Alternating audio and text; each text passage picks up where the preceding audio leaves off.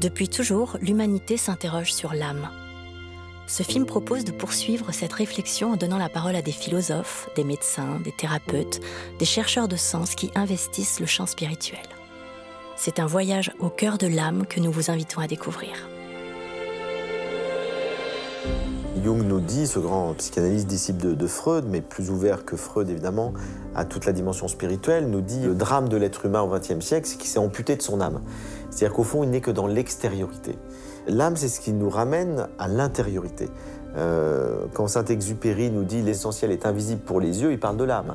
Il parle de ce, ressenti intérieur qui fait qu'on n'est pas simplement euh, mu par des causes extérieures qui nous font agir et réagir.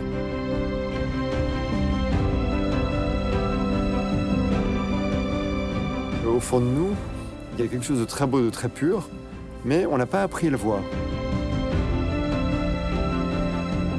Ce qui est de l'ordre d'une découverte très précieuse, c'est de ressentir à l'intérieur de nous cette bienveillance de notre âme, qui nous enveloppe, qui nous entoure, qui nous apaise. Et ça, c'est rien ni personne ne peut nous, le, nous procurer un tel apaisement parce que c'est intérieur et c'est nous qui le vivons. C'est un peu difficile à, à expliquer, mais c'est vraiment être habité de l'intérieur.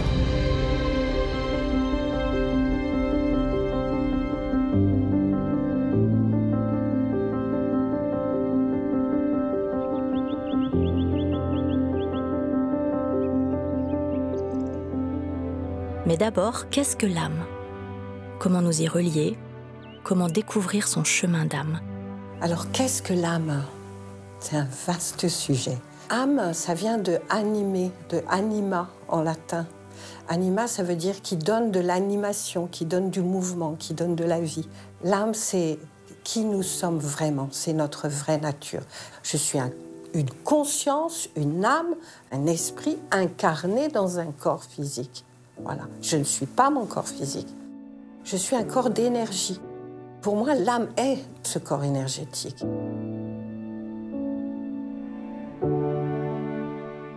Peut-être qu'une des bonnes manières pour rentrer dans le chemin scientifique et faire accepter une vision spirituelle du corps, c'est peut-être passer par cette vision quantique de la matière qui accepte que la matière, c'est pas seulement quelque chose de dur, mais c'est aussi quelque chose d'énergétique. C'est des champs d'énergie. Quand vous dites à un médecin, tiens, ben, il y, a une manière de concevoir le corps autrement que euh, sous la forme d'un amas de cellules, simplement sous une forme énergétique ou sous une forme spirituelle le médecin vous dit euh, non, ça je ne te suis pas, pas du tout là-dessus.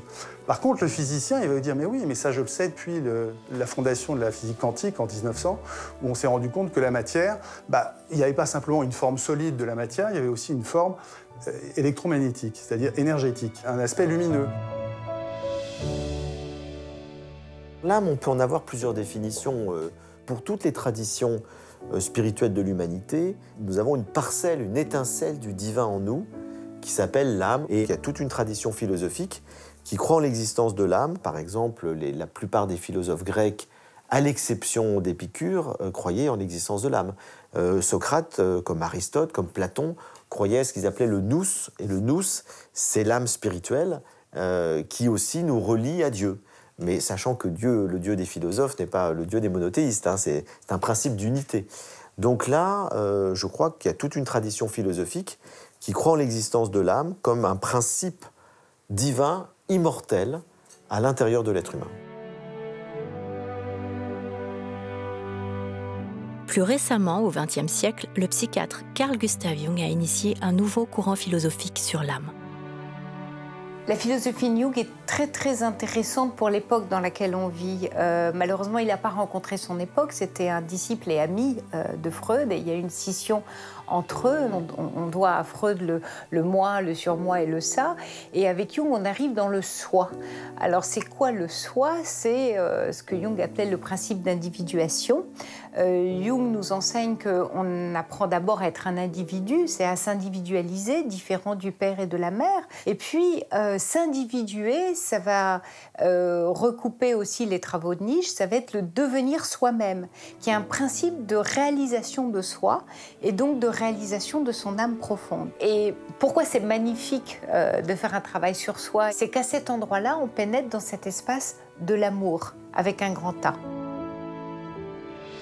Notre âme, c'est une énergie d'un amour incroyable, d'une bienveillance incroyable à laquelle on peut se raccorder euh, quand on veut. Je crois qu'il y a une vibration, une énergie d'amour universel euh, qui, qui traverse l'univers et qu'on peut le ressentir, on peut vibrer à cet amour-là. Ce lien, cette reliaison nous met dans un état joyeux. Et c'est ce qu'on appelle l'amour. C'est rentrer dans un espace de paix infinie, de silence, de joie, de, vie à l'état pur. Et c'est, en tout cas pour moi, sans aucun doute, la plus forte, la plus haute, la plus, la plus vaste, la plus belle expérience qu'un être humain puisse faire.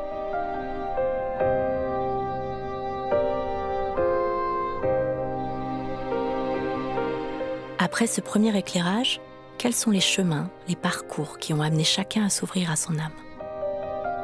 Je suis arrivé à la spiritualité parce que je me suis posé la question quand j'étais enfant, puis adolescent, euh, qu'est-ce que je fais sur Terre? Euh, Est-ce que la vie a un sens? Euh, Est-ce qu'il y a quelque chose après la mort? Et donc je me suis posé ce que se posent d'ailleurs beaucoup d'êtres humains, ces grandes questions qu'on dit métaphysiques. J'ai grandi simplement en pensant que pour être heureux, il fallait que je gagne beaucoup d'argent et que j'ai un statut. Et euh, j'ai obtenu ce statut et j'ai gagné beaucoup d'argent. J'étais avocat d'affaires à Wall Street, mais j'étais pas heureux. Je me suis posé la question euh, comment est-ce que je peux faire pour donner un sens à ma vie? Comment est-ce que je peux faire pour essayer euh, d'être heureux? Et si c'est pas l'argent et le statut qui m'apportent le bonheur, alors qu'est-ce qui va m'apporter le bonheur? La médecine m'avait dit que je n'aurais jamais d'enfant. On en avait pris notre parti et au même moment, j'étais en reportage en Inde, j'ai rencontré un médecin ayurvédique et six mois plus tard, j'étais enceinte naturellement. Et ça a complètement explosé la vision que je me faisais de l'être et a, ouvert un questionnement sur euh, qui sommes-nous? Sommes-nous juste une mécanique biologique? Qu'est-ce que la vie? D'où vient la vie? D'où ça vient tout ça? Et donc là, je me suis vraiment à, à entrer dans ce qu'on appelle un, chemin spirituel, ou au moins interroger cette partie spirituelle de l'être qui nous échappe et qui n'est pas qu'un mécanisme biologique. Alors, d'aussi loin que je me souvienne, je ne suis pas arrivée à la spiritualité. J'ai toujours eu cette conscience très très forte qu'il y avait euh, sous le monde visible une, vie agissante euh, dans, tout ce qu'il y a dans la création. C'est vraiment une énergie euh, de douceur, de paix, mais aussi d'exigence qui vous traverse qu'on peut appeler comme on veut en fait. Moi je dis euh, que c'est plus grand que moi, euh, que c'est une présence intérieure qui est à la fois à l'intérieur de moi, mais aussi à l'extérieur. Voilà. Après on peut lui donner le nom, euh, le nom que l'on veut en fait. Quand mon fils est mort, je me disais mais c'est pas possible, comment je vais faire pour survivre à ça? C'était épouvantable évidemment les premiers temps. Et puis en fait, ce qui s'est passé, c'est que ça m'a ouvert sur autre chose. le fait que sa mort soit si subite et non attendue a fait que le temps s'est arrêté pour moi. Et puis au fur et à mesure, je me suis vraiment, au travers du chemin, reconnectée à mon âme. Ça m'a euh, permis de donner du sens à ma vie et puis aussi de, savoir qu'on était beaucoup plus que ce qu'on pensait. Euh, c'est-à-dire qu'on est plus que nos corps, on est plus que nos pensées, on est plus que notre personnalité. Euh, il y, y, a toute cette partie non physique invisible qui existe et que tant qu'on n'est pas connecté à ça, c'est comme si on n'était qu'une moitié d'être humain.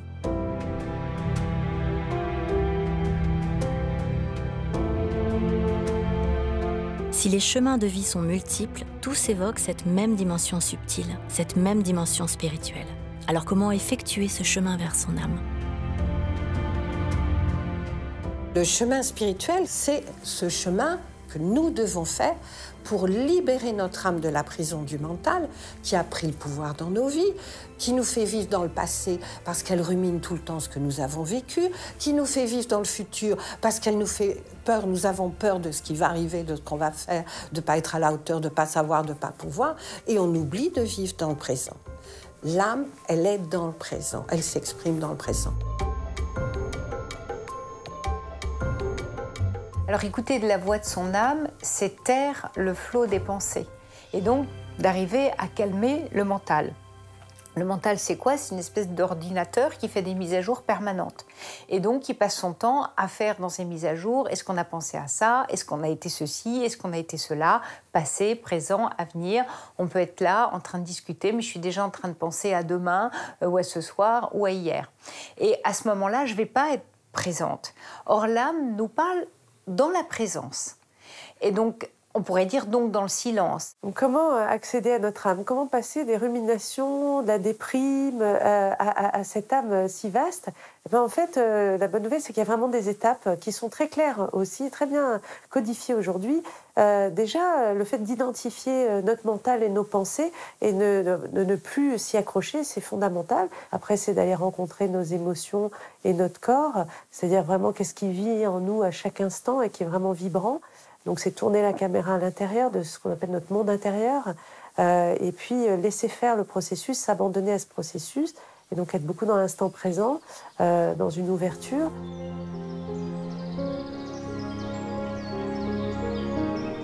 Observer son monde intérieur, ses ressentis, se relier à l'instant présent.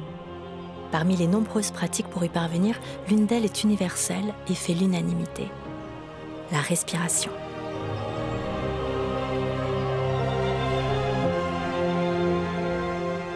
Pourquoi c'est important euh, de respirer? C'est parce que c'est l'endroit où on va rencontrer son âme et c'est le langage, c'est par là qu'elle va circuler dans l'incarnation de notre corps. Donc oui, le souffle, euh, elle est essentielle, c'est le moyen absolu pour être en connexion avec son âme. La respiration, on dit souvent en fait dans, dans les sagesses ancestrales que c'est le pont entre le corps et l'âme. Sauf qu'aujourd'hui, on ne sait plus respirer. On respire beaucoup par le haut, une respiration courte. Très souvent, on respire surtout dans la poitrine parce qu'on est tellement stressé, agité, etc. Donc du coup, on perd notre ancrage et on est dans une respiration plutôt rapide parce que le diaphragme, le, muscle principal de la respiration, qui se trouve juste en dessous de, la cage thoracique, en fait, il ne travaille plus vraiment. Et euh, c'est les muscles secondaires qui prennent le dessus et on a beaucoup de tension euh, dans la partie haute. Et il y a un déséquilibre en fait qui se crée euh, de la partie haute jusqu'en bas, euh, un déséquilibre tête, cœur, corps, on peut dire, parce que dans notre société moderne, on est très souvent prise par la tête. 90% d'entre nous ne respirent pas comme il le faudrait, ce qui provoque des dysfonctionnements. Anxiété, stress cardiovasculaire, déficit de l'attention.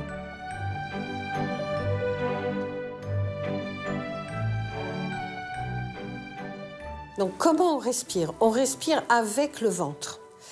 Parce que c'est important d'amener son énergie de vie dans son corps, dans son ventre. On a tendance en Occident à avoir ces énergies dans la tête. Donc on redescend les énergies dans le ventre. On respire en gonflant le ventre à l'inspire.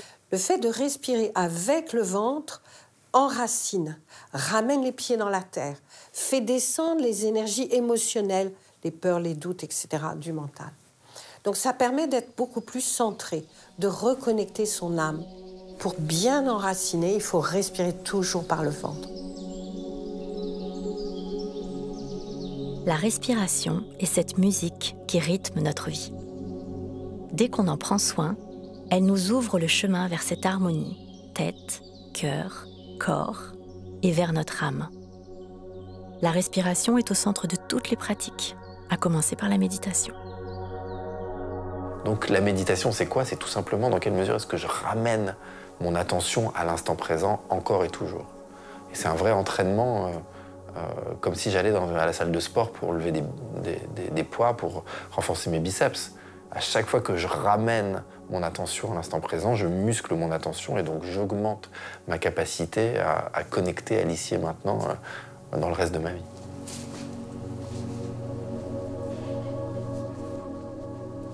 Il y a une pratique à laquelle je ne déroge jamais, qui est la méditation, même si c'est très court. Ça peut être cinq minutes, mais c'est vraiment un rendez-vous que je me donne euh, à moi-même tous les jours parce que, très égoïstement, déjà, je sais que je n'aborderai pas la journée de la même manière euh, si j'ai médité ou si j'ai pas médité. Et je trouve en plus que cette, euh, cette méditation permet d'apporter la douceur dont on a besoin, justement, pour, pour accueillir nos émotions, pour essayer de les gérer et puis se mettre en connexion avec, euh, alors on peut appeler ça euh, l'âme, l'esprit, euh, le recueillement, notre, silence intérieur, notre, enfin bon, chacun aura son, sa dénomination, mais en tout cas cette, cette méditation, oui, vraiment me permet de toucher ça.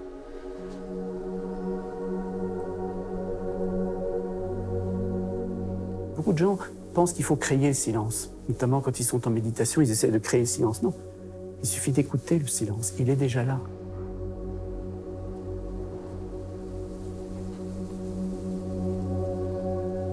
Bien sûr, entendre les bruits, les bruits de notre bavardage mental incessant, les bruits du monde extérieur.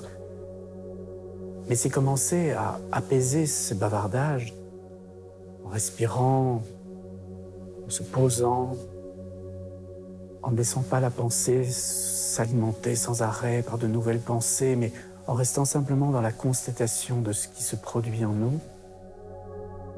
Et à un moment donné, profiter de cet apaisement pour écouter ce qu'il y a entre les bruits. Faire l'expérience de laisser la conscience s'éveiller en nous. Et comme le mental, il a la tendance de s'identifier à ce qu'il perçoit. On s'identifie à nos peurs, à nos colères, à nos humeurs, à nos croyances, à nos pensées. Mais si on commence à laisser le silence prendre la place en nous, le mental perçoit de plus en plus de silence, il commence à s'identifier au silence, et à un moment donné, il y a une bascule qui se fait, on devient silence. Et ça, c'est l'éveil de la conscience. Le mental s'éteint, la conscience s'éveille. On ne pense plus, on n'analyse plus, on ne, juge plus. On devient silencieux, paisible et aimant.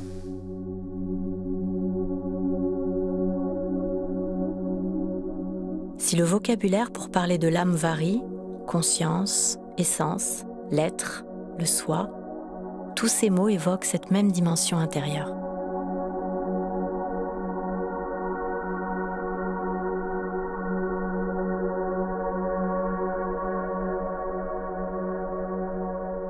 L'âme s'exprime à l'intérieur de nous par une ouverture. C'est comme si on sentait une cage thoracique ou un endroit euh, euh, au centre de l'être. C'est le centre de l'être. Et à cet endroit-là, quelque chose s'ouvre. Et pourquoi souvent on parle de ressenti ou d'intuition? Parce que c'est souvent très physique. Ce sont des sensations physiques. Notre corps, il nous dit, il peut nous dire danger, il peut nous dire c'est bon, il peut nous dire je suis heureux. Mais l'âme va se servir du corps pour nous parler. On va savoir qu'on est là parce que c'est beau, parce que c'est doux, parce que c'est fort et parce qu'il y a beaucoup d'amour.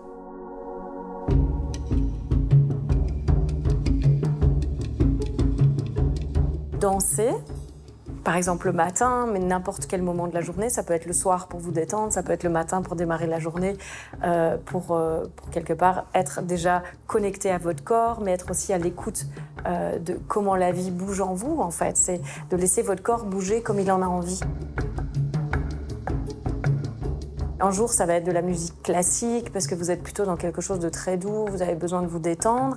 Et puis le lendemain, ça peut être une musique euh, très tribale ou ça peut être une musique euh, pleine de joie et que vous écoutiez votre humeur, euh, comment votre corps a besoin de bouger. Peut-être qu'il a besoin de s'allonger et puis que vous soyez là en musique pendant, pendant deux minutes et juste d'être avec vous, de, de vous offrir ce mouvement. Et peut-être qu'il y a juste les mains qui bougent.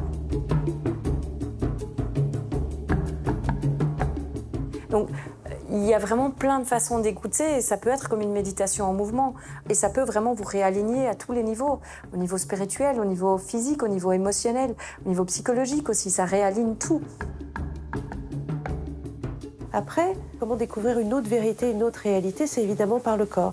Donc par exemple la danse, moi j'aime beaucoup la danse des cinq rythmes qui nous permet de lâcher vraiment nos représentations et d'improviser avec notre corps et de découvrir que notre corps a une sagesse, il sait quel geste on a envie de faire.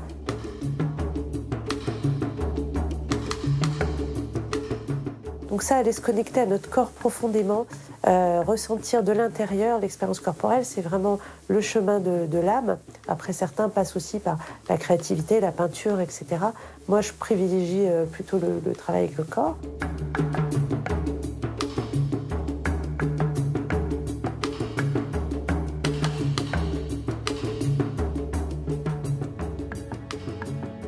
Plus étonnant, les arts martiaux peuvent avoir des bienfaits similaires aux pratiques méditatives.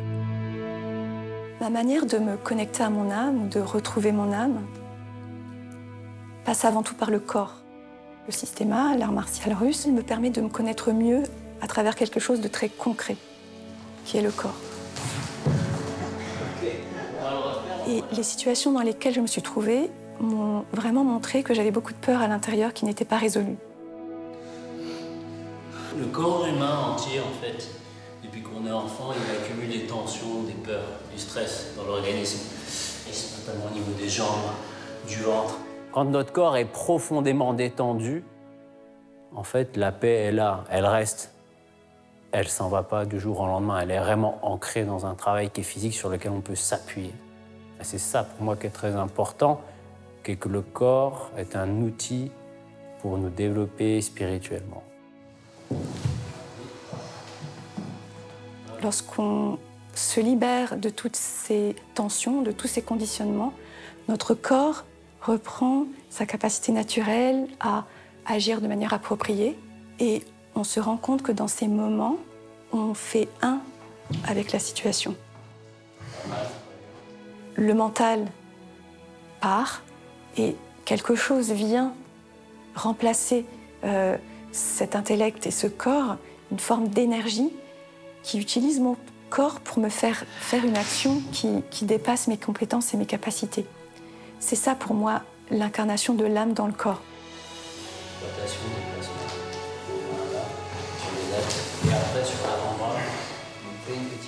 Ça peut sembler paradoxal, mais c'est surtout par le corps, euh, par cette euh, reconnexion à, à, notre, euh, notre matière, que nous pouvons accéder à notre âme. Parce que le corps est vraiment un portail pour accéder à l'âme.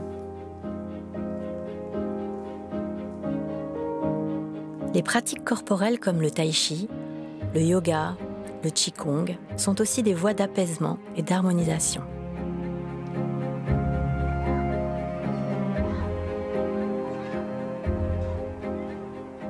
Dès qu'on met le corps dans un état d'ouverture, de détente et de présence, ben, l'intelligence du corps comme, de la conscience individuelle s'exprime. Et on est en contact avec ses messages, avec les intuitions qu'elle nous donne, les connaissances. Parce que la conscience euh, individuelle, on peut appeler l'âme, c'est un mélange d'énergie et d'information.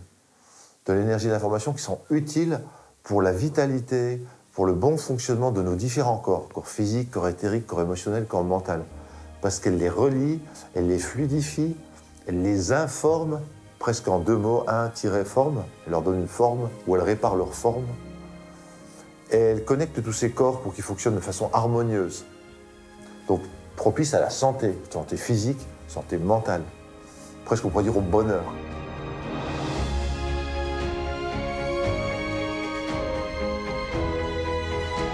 Apaiser ses pensées, se reconnecter à son corps, après cette double démarche, tous les enseignements spirituels parlent d'une étape incontournable pour se relier à l'âme, l'ouverture du cœur.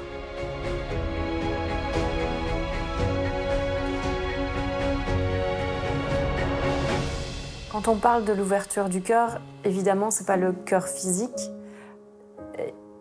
Et pour moi, ce serait plutôt le cœur de l'être. C'est un cœur plutôt énergétique. Euh, et, et c'est en même temps la, voie, la voie royale vers l'âme. Quelque part, c'est dans la connexion à l'âme, il y a cette ouverture de cœur. Et donc, on, on parle aussi du chakra du cœur. Euh, et ça va être vraiment plus cette énergie-là, en fait, cette, énergie, cette ouverture euh, énergétique à quelque chose de différent. Pour moi, l'âme habite, l'âme est tous nos corps énergétiques. Les premiers à avoir étudié les corps énergétiques sont les traditions védiques, les traditions ancestrales, euh, à travers la médecine chinoise, à travers le taoïsme, à travers les sciences védiques. Tout le monde connaît les corps énergétiques. En Occident, on a complètement oublié. On ne on sait plus ce que c'est. Un corps énergétique double le corps physique. Le corps énergétique, comme le corps physique, a ses pompes. On appelle ça les chakras. Alors, dans la tradition, on parle de sept chakras, mais en fait, il y en a beaucoup plus que ça, parce qu'il y a beaucoup, beaucoup de corps. Mais on va s'intéresser simplement aux sept chakras. Ces chakras sont reliés, tout comme dans le corps physique, on a des canaux de la même manière, et c'est très intéressant de savoir que ces réseaux vont se trouver bouchés ou avec des condensations en fonction de nos expériences de vie. Il existe des technologies avancées qui permettent de mesurer ces corps énergétiques dont l'origine est tout à fait surprenante, la médecine spatiale. Il y a eu beaucoup de recherches en fait en ex-Union soviétique et, euh, ça s'est poursuivi en Russie après. À partir de la médecine spatiale, ils ont privilégié toutes les techniques énergétiques et euh, par exemple, on connaît bien l'effet Kirlian, les- les- l'espèce d'aura qu'on voit autour des, autour des objets, autour des mains, etc. Et ils ont développé tout un tas d'outils comme ça qui sont capables de mesurer l'émanation énergétique.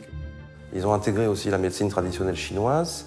Ils se sont inspirés aussi voilà, des médecines orientales, ayurvédiques, pour euh, constituer un corpus de connaissances et de pratiques assez, assez développé. Ils ont des machines voilà, qui font des diagnostics énergétiques et puis qui traitent aussi certaines pathologies. Il y a beaucoup de choses qui se passent de- de ce côté-là. Devant, on voit qu'il y a des trous dans les auras ici avant.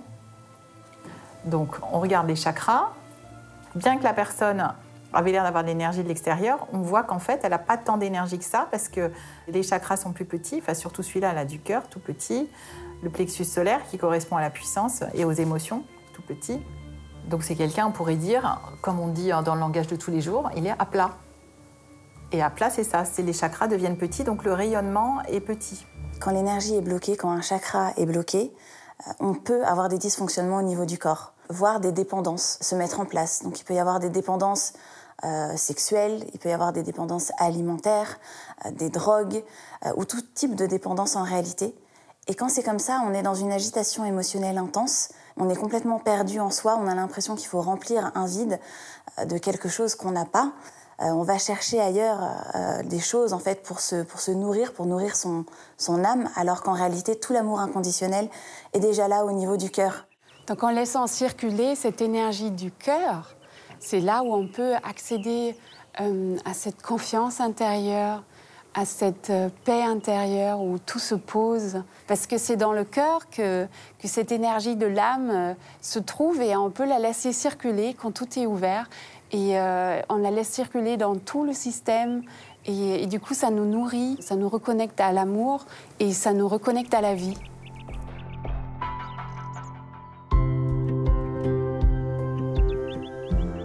But du voyage, c'est l'amour. On, pour- on pour- on pourrait le dire comme ça. Et finalement, on pourrait résumer toute démarche euh, individuelle et de développement personnel ou spirituel par le fait de passer de la peur à l'amour. La peur, ça, peut revêtir de multiples formes. C'est la peur de ne pas être aimé, c'est la peur de, ne pas exister, euh, notamment aux yeux des autres, peur de ne pas avoir de valeur, euh, à l'amour. Et pour moi, il y a, une étape incontournable qui est l'amour de soi. S'aimer soi, c'est aussi euh, être moins encombré de soi-même. Euh, quand on s'aime pas, on passe son temps à s'épier de ce qu'on n'aime pas en soi, de ce qui va pas, comme si il y avait tout le temps un tyran à l'intérieur de nous qui nous disait quand même, t'aurais pu euh, dire ça, ça, aurait été plus intelligent, ou tu pourrais être ceci, cela. Il y a constamment cette petite voix qui nous encombre. Euh, quand on s'aime, c'est qu'on est tranquille finalement. Et on est plus en sécurité. On a un espace un endroit où on peut se poser. Je me souviens dans les premières expériences de ma vie, lorsque j'ai commencé ma voie de, méditation, et d'aller chercher à- cet amour de soi, justement, on m'a souvent dit, mais c'est égoïste. Non, ce retour à soi-même, c'est pour justement toucher cet espace beaucoup plus intériorisé, cet amour inconditionnel. Quand tu sais profondément quelle est ta vraie nature, hein, et qu'il n'y a aucune différence entre la nature de l'autre, à partir de là, tu peux beaucoup plus aller vers l'autre, tu peux beaucoup plus te relier à l'autre. Donc il n'y a rien de narcissique, il y a justement une expression de toi-même à toucher pour mieux t'exprimer avec l'autre et mieux comprendre l'autre surtout.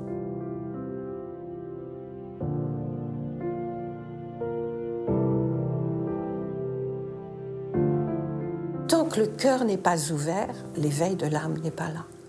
Un être éveillé qui n'est pas dans le cœur, ça n'est pas un être éveillé. Parce que si je m'aime, je reconnecte mon âme et je lui permets de se manifester. Je la reconnais, je l'accueille et je l'accepte.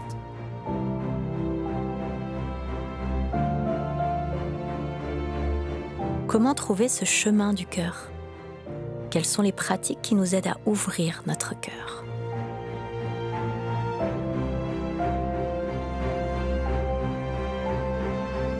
Je dirais que la, plus belle pratique qui m'a aidée, c'est la gratitude.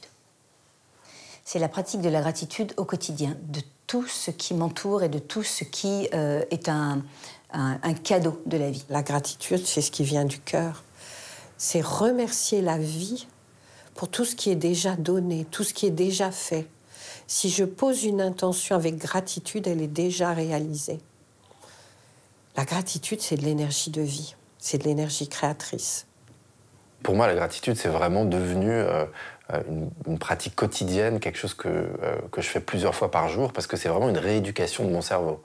Alors la gratitude, c'est tout le temps, c'est d'être dans ce joli jardin avec ce climat, ce beau temps, ce, voilà, d'avoir de la nourriture, d'avoir un toit, d'avoir une famille. La gratitude, elle est dans, tout, dans tous les, dans, dans tous les, les, états comme ça de nos vies, mais elle est, en ce qui concerne euh, la spiritualité, c'est quelque chose qui est totalement indissociable. Je reçois merci et je peux donner, ben encore plus merci. peut-être pas encore plus, mais merci aussi.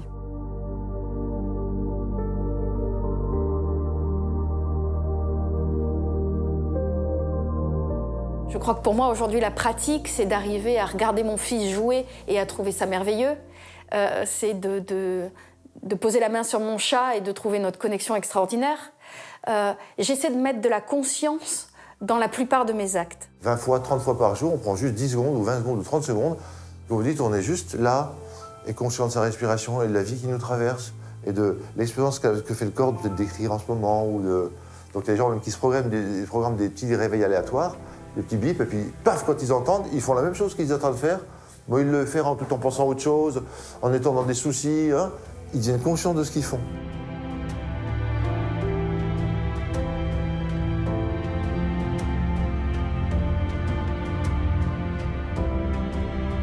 il faut un petit peu aider le cerveau à se, à se calmer, hein, le mental à se calmer. Et, du coup, ça passe par effectivement des exercices respiratoires, des exercices d'ancrage, de ressenti du corps.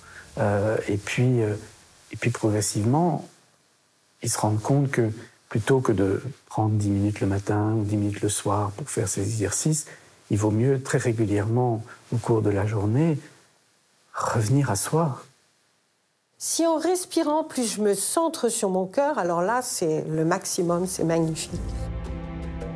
Je fais pétiller mon âme, je fais pétiller quelque chose de subtil qui crée comme un halo d'amour, un halo de lumière autour de moi.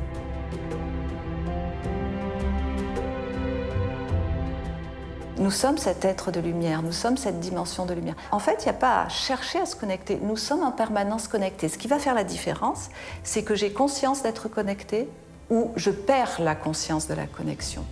Mais la connexion, elle est là en permanence. Le fil qui nous relie à notre âme n'est jamais coupé. Nous sommes notre âme. Un lien d'autant plus précieux lorsqu'une épreuve survient. Lorsque j'avais 30 ans, je naviguais avec mon mari et notre fils qui allait avoir 7 ans. Et un jour, d'un moment à l'autre, mon fils a disparu. Il n'était plus sur le bateau, il est tombé à l'eau. On s'en est pas rendu compte, il est disparu en mer. Et pour moi, ça a été un choc énorme. J'ai fait un, chemin double, si on peut dire. À la fois un travail psychologique sur moi-même, parce que en tant que mère, euh, j'étais terrassée par l'idée de n'avoir pas pu sauver mon enfant, donc par la culpabilité. Et l'autre chemin, c'était plutôt cette recherche dans l'invisible. Et ce chemin psychologique m'a permis aussi de mieux me connaître. Et c'est aussi un chemin nécessaire pour arriver à retrouver cette joie de vivre.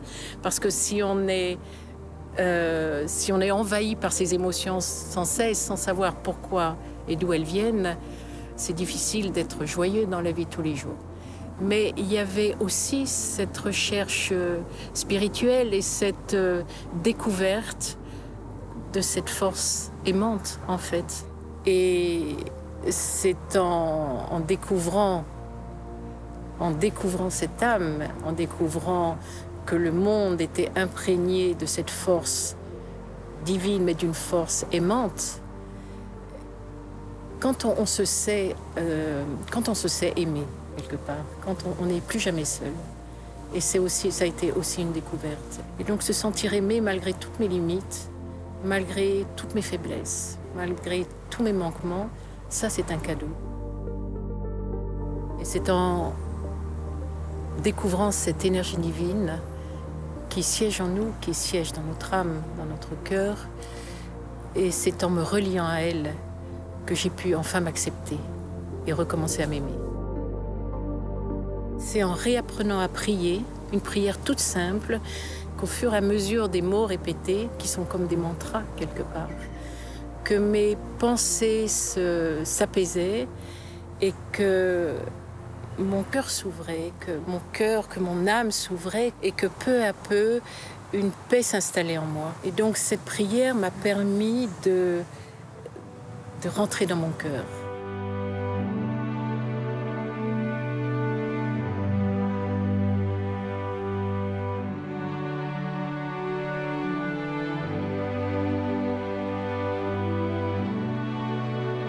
Tu ne peux toucher le cœur, mais le cœur peut te toucher, te guérir. Prie et ouvre ton cœur afin que l'amour se fasse entendre.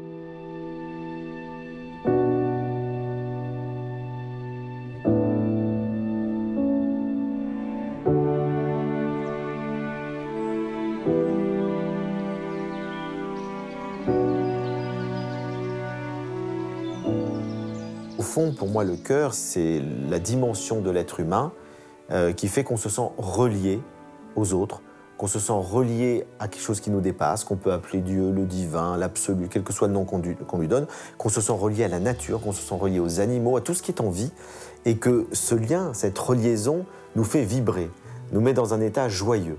Et c'est ce qu'on appelle l'amour. Mais l'amour, je l'entends ici au sens où les Grecs appelaient l'amour agapé, c'est-à-dire un amour cosmique, un amour universel, un amour inconditionnel.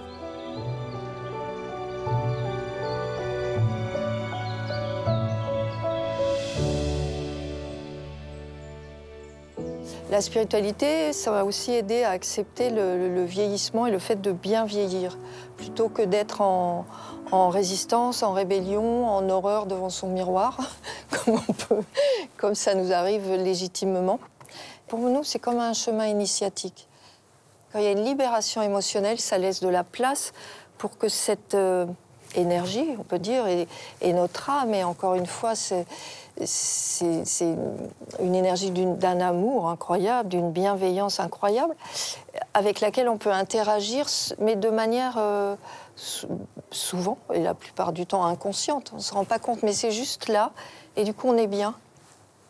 Contrairement aux gens qui, redoutent par exemple leur propre fin, leur propre mort, le passage, est-ce qu'il y a quelque chose derrière Là, on a une connaissance. Ça va, c'est là, le vivant est là. Je sais que quand j'arriverai au terme de ce chemin-ci, là, de ma vie humaine dans ce corps, ça va se poursuivre sans ce corps-là, mais tout va bien.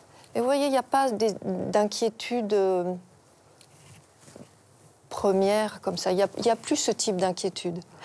Vieillir, finalement, c'est moins pire que ce à quoi je m'attendais.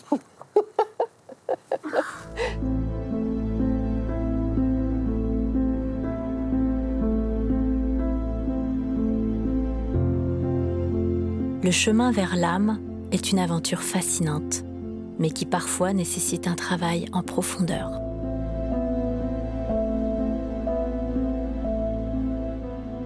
Pour aller dans cet endroit au-delà du mental, au-delà de l'ego, au-delà de la personnalité, au-delà de l'identification à notre petit moi, il faut pouvoir traverser ce petit moi. Il faut pouvoir l'accueillir dans la conscience. Or, la conscience est la pure conscience est amour, elle est accueil, mais donc il faut qu'elle puisse englober tout ça. Et ça demande un premier travail qui est psychologique. Comprendre comment fonctionne l'ego, comment fonctionne le mental et, ses conditionnements et toutes ses peurs et ses, fermetures, ses carapaces, cette défense, cette névrose. Et donc, ce qui va fermer l'ouverture de cœur, c'est ma fermeture à moi c'est mes peurs à moi, c'est le fait que je me protège, c'est toutes les barricades que j'ai mis autour de moi, c'est la personnalité que je me suis construite et l'identité que je me suis construite pour être, euh, pour être inatteignable. Et c'est ça souvent que chez les personnes qui peuvent être euh, dans, cette, dans cette forteresse, euh, eh bien, il va y avoir des épreuves pour quelque part venir briser les murs de la forteresse pour que finalement on puisse aller vers l'ouverture du cœur, vers l'ouverture à notre âme.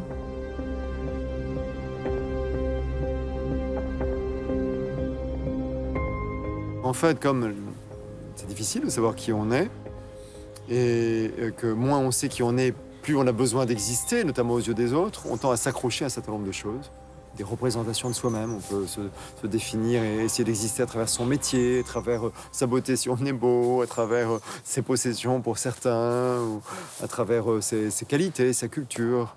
Alors qu'en fait, tous ces éléments sont relativement extérieurs à nous-mêmes, ou en tout cas on ne se limite pas à ça. Mais comme on ne sait pas qui on est, on s'accroche à ça. Et le problème, c'est que dans ces cas-là, on est amené à jouer un rôle qui nous éloigne de qui on est véritablement au fond de nous. Donc finalement, c'est en apprenant à se défaire de ces fausses identités, de ces fausses représentations, qu'émerge notre vraie nature. Notre vraie nature, on peut appeler aussi notre essence. Et notre essence, selon moi, est de nature divine. On ne trouve pas le divin euh, dans des sphères hautes, on le trouve au fond du corps. C'est vraiment euh, l'idée d'une incarnation, il faut descendre profondément en soi. Si bien que Jung a dit très bien, c'est pas en allant dans la lumière qu'on devient lumineux, mais c'est en descendant dans ses ombres. Donc il y a tout un travail sur l'ombre, d'après Jung, pour libérer euh, l'ombre de son caractère euh, ombrageux, enfin inconnu, pour en faire de la conscience et de la lumière. Depuis notre conception jusqu'à aujourd'hui, nous avons tous une histoire qui nous a structurés avec ses blessures, avec ses difficultés. Et très souvent, nous ne voulons pas la voir, nous ne voulons pas l'accepter. Le fait de faire face à son histoire, à ses blessures, à sa colère, à son ressentiment, permet de libérer toutes les souffrances qui y sont attachées et permet de reconnecter l'âme. Ce à quoi je fais face s'efface. Ce à quoi je résiste persiste. Donc, faire face à son histoire, c'est la regarder telle qu'elle est. Ne pas être dans le déni, accepter tout simplement.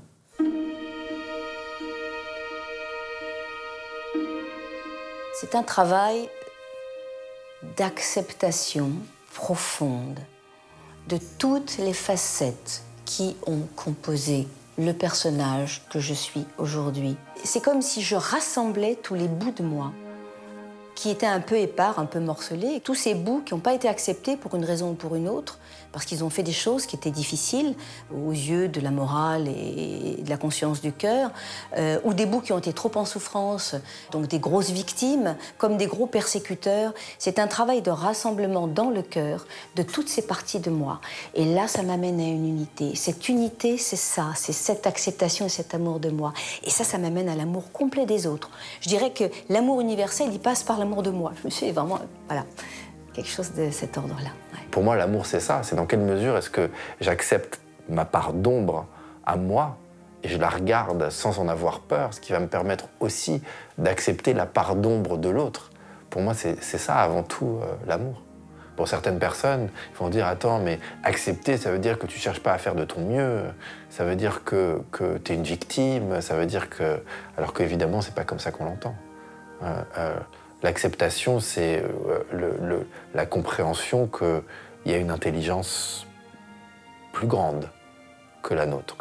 Il y a une intelligence, euh, euh, il y a un chef d'orchestre invisible qui est là, qu'on peut appeler la conscience, qu'on peut appeler la nature.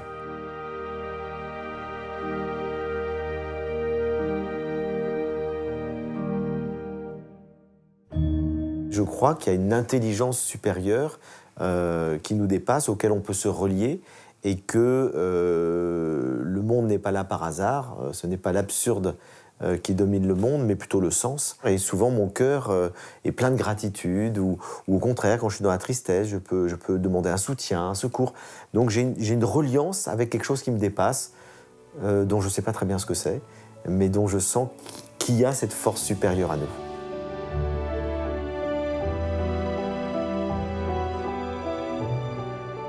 Sur ce chemin, j'ai compris que ce qui m'était demandé, c'était de dire oui à tout ce qui était, à tout ce qui allait venir.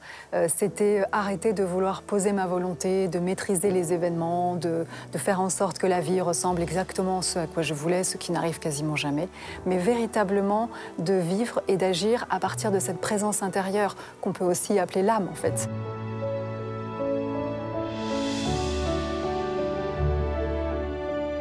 Quand on commence à dire oui à ce qui est, ce qui vient, euh, ce oui, c'est pas simplement euh, OK, consentir, c'est vraiment aussi avoir confiance dans ce qui est, c'est vraiment aimer ce qui est, même le plus désagréable. C'est quelque chose de tout notre être qui dit oui euh, pour être là et expérimenter.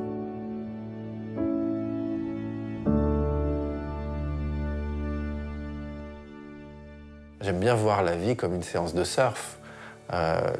Qu'est-ce que tu contrôles quand tu surfes? Tu contrôles pas euh, les vagues qui arrivent. Tu contrôles ta capacité à, te positionner par rapport à telle ou telle vague et à, et, et à te lever et à rester en équilibre quand tu es sur la vague.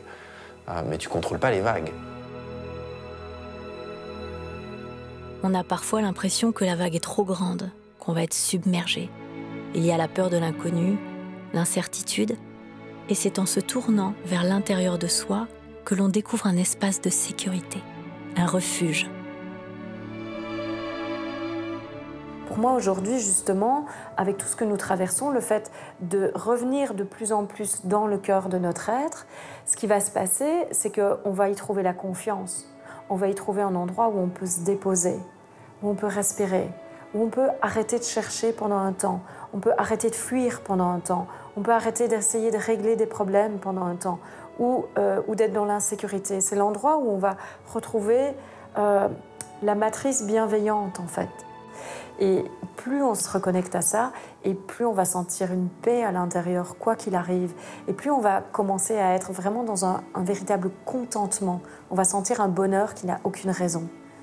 Et, et ça, c'est ce que ça nous offre d'être connecté à notre âme dans ces états d'éveil, il y a une douceur qui s'installe. Et c'est comme si tout d'un coup, on avait notre corps euh, subtil qui, prenait une expansion, comme un, ballon, tout d'un coup, qui prenait de l'expansion. Et dans cette expansion, oui, il y a beaucoup plus de, il y a beaucoup d'amour, beaucoup de douceur. Il n'y a plus de jugement, il n'y a plus de peur, il n'y a plus de contraintes. Euh, c'est un moment où l'espace s'arrête, où le temps s'arrête, et c'est un moment où on est là. Voilà, on fait rien, on n'est rien, on ne veut rien.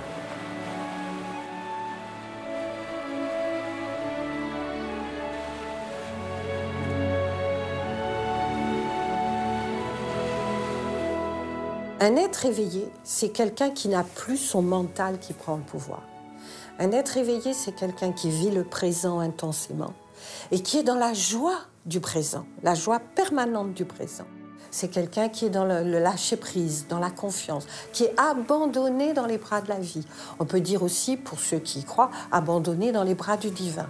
Ça, c'est un être éveillé. Une fois qu'on a, a touché ce noyau, le noyau de l'être, hein, de ce qu'est être, euh, on retrouve le chemin pour y retourner. C'est pas parce qu'on l'a, on touché qu'on le quitte pas, hein, mais, mais on connaît le chemin. Et ce chemin, c'est le replonger dans le silence. Et à partir de là, on a une grande liberté dans la vie, une très grande liberté.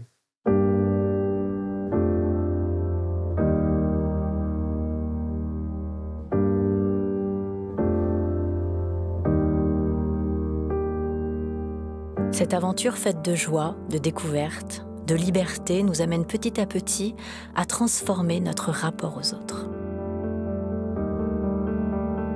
Une fois qu'on a, qu'on a atteint cette, cette estime de soi, vous voyez, une fois qu'on est convaincu de sa valeur, eh bien, il y a un phénomène tout à fait naturel qui est qu'on s'intéresse moins à sa propre personne.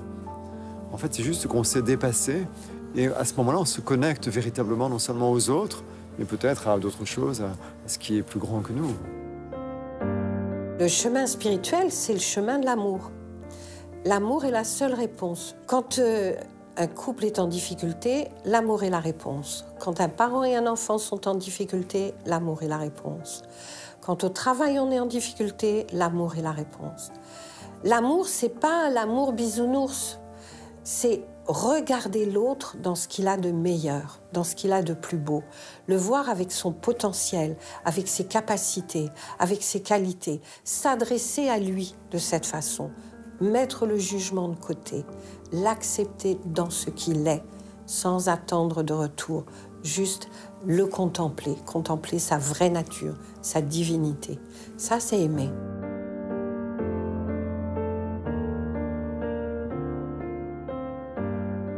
L'amour, c'est pas une chose facile. L'amour, c'est c'est un combat contre même contre soi-même. C'est c'est une c'est chaque jour s'accepter, accepter les autres. En fait, on a chacun, on a au fond de nous, on a cette même âme, on a cette même euh, présence divine. Donc c'est ça qui nous aide à accepter l'autre, c'est ça qui nous aide à développer notre bienveillance, la tolérance, parce qu'on a chacun, on a ce, ce joyau au sein de nous. Et même si on est différent, et puis finalement, c'est différent, c'est peut-être une richesse.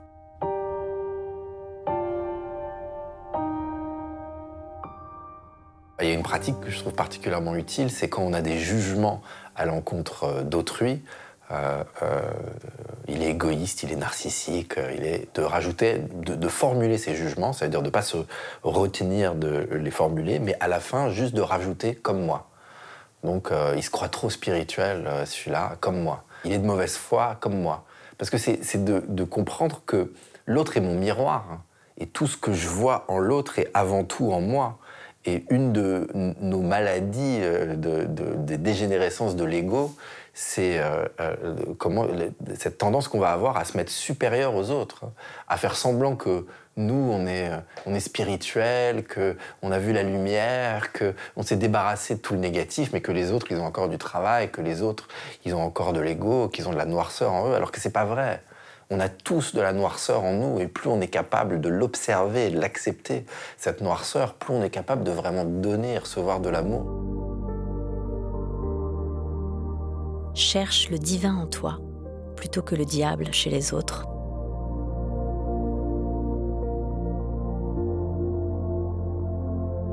Avant, je passais mon temps à blâmer. Je croyais que le problème, il était toujours à l'extérieur de moi. Je croyais que c'était les autres qui devaient changer. Euh, et, puis, en fait, euh, tout le chemin spirituel que j'ai fait, ça m'a reconnecté vraiment à, qui je suis, à moi, et au fait qu'on n'est pas séparés. Au lieu de nourrir l'énergie du conflit, je préfère dire non, en fait, j'ai pas besoin d'avoir raison.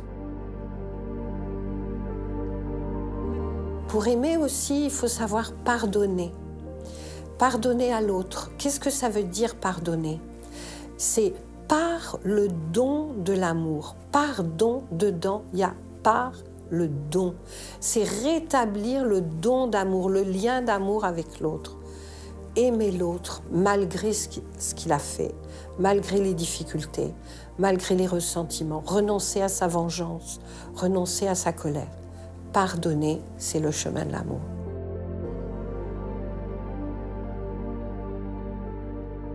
La douceur, euh, c'est vrai que ça a une image un petit peu mièvre, un petit peu molle, alors qu'en fait c'est tout le contraire. La douceur euh, est une puissance. Et euh, d'ailleurs, c'est pas moi qui me dis, c'est l'empereur Marc Aurèle qui me disait, mais la, douceur est, invincible. Je trouve ça vraiment magnifique de se dire que bah, finalement, on peut désarmer tout le monde avec de la douceur. Et d'ailleurs, faites l'essai. Si un jour vous devez vous confronter à quelqu'un, je pense que rien ne le désarmera plus que le fait que vous, vous restiez calme et dans l'accueil. Si tu es heureux, tu vas pas être agressif. Quelqu'un qui est vraiment heureux, au moment, à l'instant T, c'est quelqu'un qui va partager ce bonheur. Donc quelqu'un qui est négatif, qui est agressif, c'est forcément quelqu'un qui est en souffrance, on peut dire quelqu'un qui est en vibration basse. Imagine que toi, tu es heureux et tu es en vibration haute, la personne vient, elle t'agresse. C'est irrationnel de te mettre toi aussi en vibration basse, de te mettre toi aussi en souffrance au même niveau. Donc c'est extrêmement utile de se dire que l'agressivité, c'est une forme de souffrance, puisque tu ne te rends pas malheureux intentionnellement, et que la seule façon rationnelle de répondre à ça, c'est de répondre avec compassion.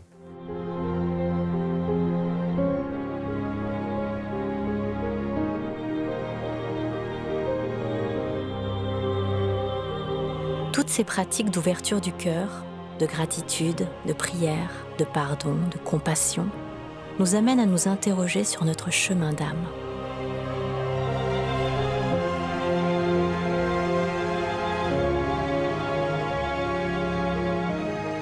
Est-ce que je peux changer de perspective et au lieu de voir euh, ce que je veux de la vie, me poser la question de qu'est-ce que la vie veut de moi? Parce qu'il semblerait que la vie, elle a quand même un plan. Moi, dans mon expérience, ce que je vois, c'est que euh, euh, plus on, se met au service d'un bien qui est plus important que le nôtre, euh, euh, plus les choses semblent se passer assez naturellement et, facilement. Si on part du principe qu'on s'est incarné dans ce corps-là, on a quelque chose à y faire, quelque chose à y mener. Alors c'est pas forcément un grand soir la mission d'âme. Ça peut être plein de choses. Ça peut être, être au service de l'humanité, ça peut être euh, être au service euh, de la terre, euh, ça pourrait être. Alors je prends des exemples de service, mais ça pourrait être quelque chose aussi de soi à soi, d'œuvrer et de grandir. Donc il y a autant d'individus qu'il y a de missions d'âme s'il n'y a pas cette connexion avec notre âme, d'une manière ou d'une autre, euh, dans des pratiques euh, spirituelles, dans un travail thérapeutique qui amène donc cette dimension spirituelle et qui nous permet d'entrer en, connexion avec elle, euh, c'est difficile de trouver sa mission de vie. la mission de vie, je crois, la principale, c'est surtout de nous trouver nous-mêmes. C'est pas une question de ce que je fais, c'est une question vraiment de comment je le vis et du sentiment intérieur que ça me procure de joie, de paix et euh, je dirais de, rayonnement au niveau du cœur. C'est ça. Il y, a un plaisir, mais un plaisir intrinsèque quand on est à sa place. Euh, et, et c'est là qu'on est dans sa mission de vie. Et en fait, la mission de vie peut prendre plein d'aspects. Jung nous dit très bien, l'homme n'a pas à être parfait, contrairement à certaines morales où on dit aux gens soyez parfaits, on les coince dans une moralité un peu euh, étroite et impossible. Il a à être complet. Donc Jung a toujours un langage de complétude, de plénitude, et être plein, c'est habiter toutes ces dimensions. Ce qui est important vraiment, c'est de donner du sens à notre vie. Plutôt de savoir si la vie a un sens, c'est vraiment donner du sens à notre vie. Et oui, je pense que le sens premier, c'est l'amour. Aimer. L'âme est venue expérimenter. C'est comme une université, cette planète. Et le champ d'expérimentation ou d'apprentissage sur cette planète, c'est vraiment l'amour. Comment je vais me relier à l'autre? Comment je vais aimer l'autre, mais comment je vais aussi m'aimer moi-même? Ça, c'est aussi important.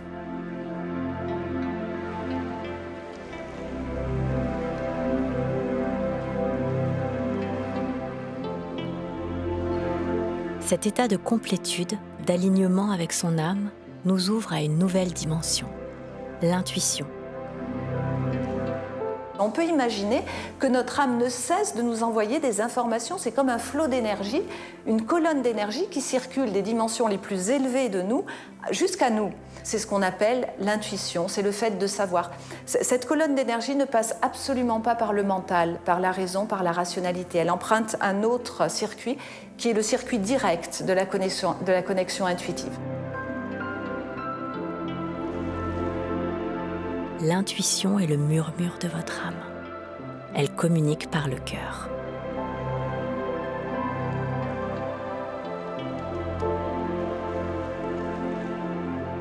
Sur ce chemin, il y a l'idée qu'à un moment donné, on se relie euh, plus à notre corps que notre mental, qu'on revient plus vers l'intuition que la raison, qu'on commence à sentir avant de penser, euh, pour véritablement euh, essayer d'agir autrement, plus subtilement. On va commencer à agir à partir de, cette, de quelque chose de nouveau, de neuf, d'une vie intérieure. Donc on commence à être plus créatif parce qu'on n'est plus basé sur l'ancien, mais véritablement sur le nouveau. Et à ce moment-là, tout est possible en fait.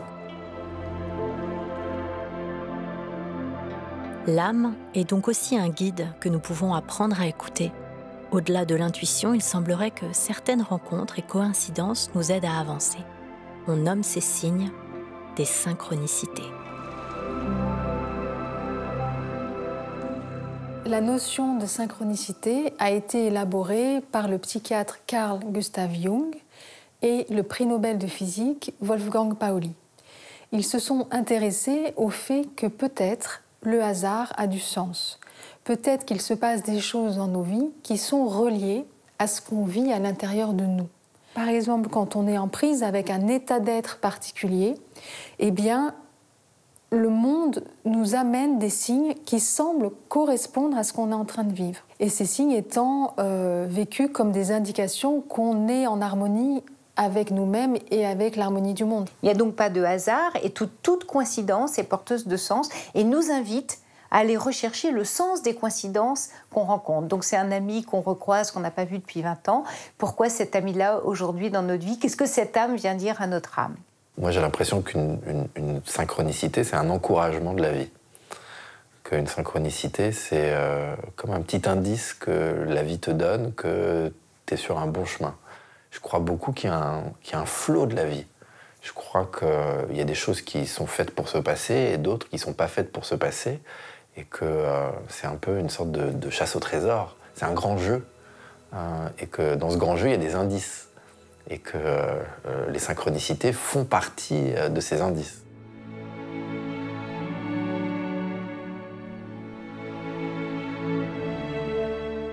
Donc en synthèse, dans la vie, on a un pouvoir immense. On peut donner son pouvoir soit à son âme, et à ce moment-là, on devient un créateur de valeur dans la joie, soit à sa couche de souffrance. Si je donne mon pouvoir à ma souffrance, à ma déprime, à ma tristesse, à mes doutes, à mes peurs, à mon ressentiment, je mets mon âme en prison. Je l'empêche de s'exprimer, je crée du négatif autour de moi et je ne peux pas m'épanouir. Je suis décentrée. L'âme, c'est cette partie parfaite que nous avons au fond de nous, notre essence, notre, notre lumière, notre amour, tout ce qu'il y a de plus pur. Dès l'instant où je mets mon repère à l'intérieur, je me trouve et au fond de moi, j'ai tous les possibles. J'ai un pouvoir infini, j'ai une puissance magnifique, j'ai des talents magnifiques tant que je ne me centre pas, je ne peux pas les voir et je ne peux pas les manifester. Ce chemin d'éveil de l'âme pourrait-il dépasser la dimension individuelle pour engendrer un changement sociétal?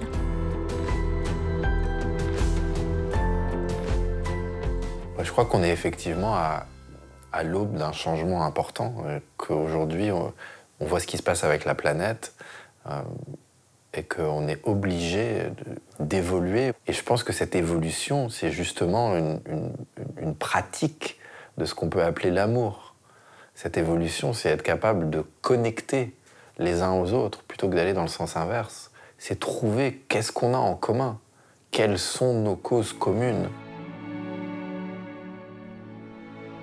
C'est bien d'avoir des croyances, c'est bien d'avoir euh, euh, des pensées sur la beauté, sur l'amour et tout, mais qu'est-ce qu'on fait concrètement au quotidien? Quels sont nos actes et qu'est-ce qu'on fait? Et c'est pour ça que les habitudes qu'on a par rapport à notre mental, qu'il s'agisse de la méditation, de la gratitude, les habitudes qu'on a par rapport aux autres, euh, de donner, euh, d'écouter, de savoir pratiquer l'empathie, la compassion, la compréhension, et de faire ça au quotidien, à mon avis, c'est ça.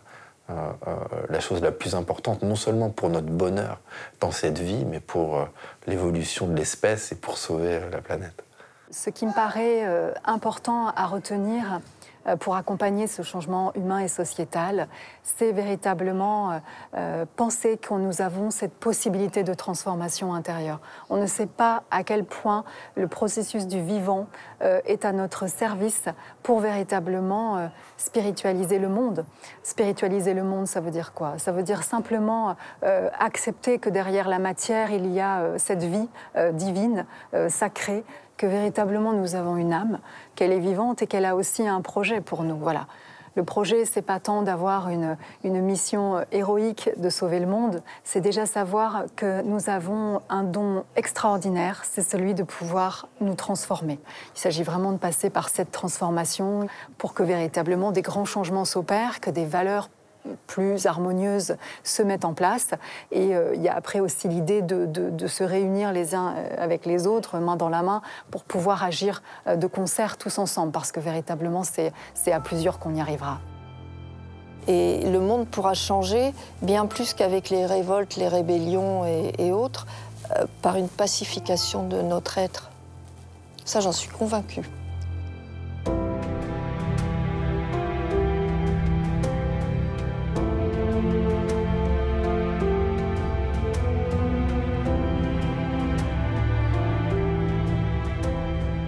Que je fais avec le programme de méditation à l'école, c'est premièrement apprendre à connecter à l'instant présent, apprendre à porter son attention sur l'ici et maintenant, et deuxièmement, apprendre à ouvrir son cœur. Ça veut dire apprendre quand on a des pensées agressives à pas agir dessus, apprendre à écouter la personne avec euh, euh, notre pleine attention, apprendre à se servir de la parole d'une manière qui est bienveillante, d'une manière qui va connecter, apprendre à ne pas se servir de la parole contre soi ou euh, contre les autres.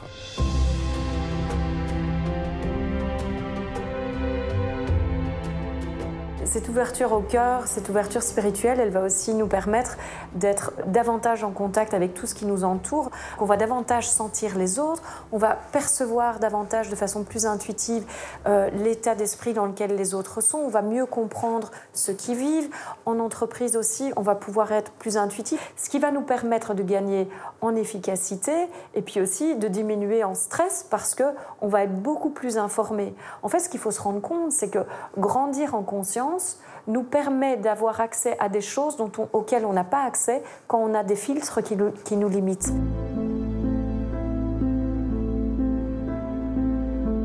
Travailler occupe une place importante dans notre vie.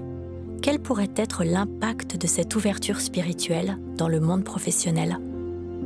La spiritualité, ça fonde un humanisme très profond. Et donc les, les chefs d'entreprise qui ont euh, une dimension spirituelle sont souvent des gens beaucoup plus bienveillants. Euh, qui ont à cœur euh, que leurs employés s'épanouissent. Et lorsque des chefs d'entreprise sont touchés par ça, j'en connais de plus en plus, eh bien, ils ont envie de transformer leur activité. Et donc, ça va vers euh, le commerce équitable, le bio, le respect de l'environnement. On ne va pas piller la planète, on ne va pas faire souffrir les animaux. On va pas... Donc, ça donne une dimension éthique. Ce monde en complexité, ça nous invite à changer d'intelligence. Euh, ça nous invite à rentrer dans une forme d'intelligence émotionnelle, intelligence intuitive, voire une intelligence spirituelle, euh, dans lequel on va rentrer en contact euh, plus fin avec l'autre, plus fin avec le vivant, plus en empathie quelque part, plus en, observation et en ressenti. Et ça, cette, cette intelligence intuitive permet de développer une forme d'anticipation du monde qui vient, en douceur presque, j'allais dire. Je pense que pour que ça marche euh, dans une organisation, il faut euh, que chaque personne de cette organisation ait fait un certain chemin, cheminement intérieur. Et trouver ses propres outils pour au quotidien euh, prendre les bonnes décisions alignées avec ses valeurs et son intention. Il y a plein de méthodes pour le faire et je pense que c'est à chacun de trouver celle qui marche pour lui et pour elle. Parce que sans ça, ça ne peut pas marcher au niveau collectif. Au quotidien, alors déjà moi je prends un temps chaque matin pour visualiser, pour méditer, donc ça c'est mes pratiques à moi. Et surtout, euh, je, reprends toujours ma responsabilité. Pour moi, la spiritualité, elle est composée de ça, de notre responsabilité individuelle. Donc, à un moment donné, même dans ton entreprise, quand tu rencontres des difficultés, parce que ça peut arriver, c'est te demander, en fait, euh, quelle est une, responsabilité en moi inconsciente qui peut amener peut-être un conflit avec un associé, euh, des difficultés avec un salarié. Et à chaque fois, voilà, reprendre cette responsabilité-là. Alors, on peut tous mettre de la spiritualité dans notre travail en le faisant avec cœur et avec conscience. Euh, en conscience dans les deux sens du terme, c'est-à-dire être présent euh, au sens de pleine conscience, c'est-à-dire d'être attentif à ce qu'on fait, parce que du coup on y prend plus de plaisir lorsqu'on est présent plutôt que si on, pense à autre chose. Et puis le faire en conscience morale, c'est-à-dire d'essayer de faire que les choses soient bien faites et que le résultat auquel on arrive soit un résultat qui fasse profiter les autres. Et donc déjà travailler en conscience, et puis essayer de, faire un travail euh, dans un respect, encore une fois, des autres et de l'environnement. Et donc vous pouvez travailler dans un bureau en étant désagréable avec euh, euh, les gens qui travaillent avec vous, comme vous pouvez être bienveillant. Le fait d'être porté par une cause et des valeurs, je crois que ça, ça peut interroger aussi la manière dont on voit les autres acteurs autour de nous, dans notre écosystème peut-être passer de voir d'autres acteurs comme des concurrents à des partenaires potentiels, puisque si on est mu par une cause commune, on peut faire alliance pour aller ensemble dans cette direction et pas être chacun euh, dans la défense de ses intérêts euh, personnels, mais comment est-ce qu'on peut créer des alliances tout en faisant grandir chacune de ces organisations? Et ça, c'est très enthousiasmant, parce qu'on est en train d'imaginer le monde de demain, une autre manière de faire de la valeur ensemble.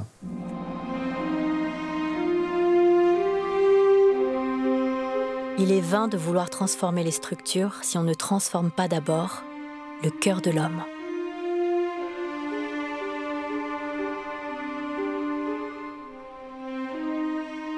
C'est Paul Václavic de mémoire qui avait démontré que euh, si une personne commettait un acte altruiste envers un inconnu dans la rue, et que cet inconnu ne pouvait avoir aucune, aucun doute sur euh, le côté altruiste de son acte, par exemple euh, voilà, quelqu'un vous offre quelque chose ou vous fait un compliment et part immédiatement, ce qui est la preuve qu'il n'attend rien en retour.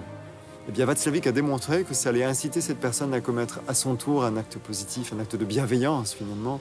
donc ça crée toute une chaîne de gentillesse. Ce qui est super intéressant.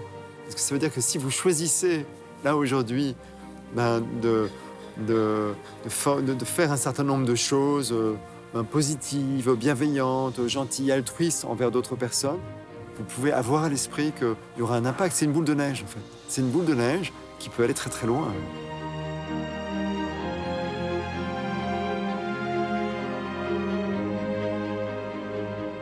L'ouverture du cœur, c'est cet amour qui peut nous traverser. Cet amour, il est vraiment créatif. Il peut nous apporter euh, plus de joie, plus de vérité, plus de liberté, plus de lien à l'autre, plus de lien à la nature, plus de respect, plus d'harmonie, plus de, plus de vie en fait.